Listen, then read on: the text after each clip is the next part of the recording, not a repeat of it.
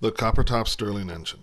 It is constructed using much of the same process as my beer bottle and Christmas mug Stirling engines. The displacer cylinder is cut from a lotion jar. The top and bottom are made from copper pipe end caps.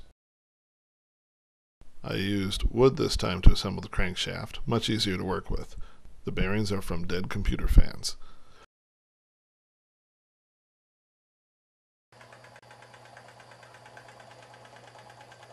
The benefit of using copper is its ability to conduct heat is nearly twice that of aluminum. This is the first run of the engine. Although the hot plate did get hotter than I wanted, the engine is performing quite well. It's much faster than my previous engines. Obviously it needs to be balanced a bit, and the connecting rods need to be attached better.